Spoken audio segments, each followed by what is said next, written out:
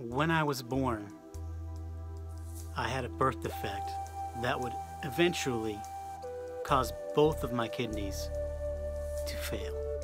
There were times when I felt like it wasn't worth the pain. There were times when I felt like giving up the fight.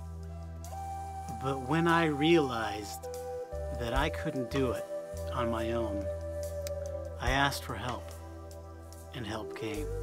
My twin sister realized that without her help, I might not live. So she gave me one of her kidneys. I live because I didn't give up. I live because she and others helped. I fought to live. Now I live to tell. I fought to live. Now I live to help.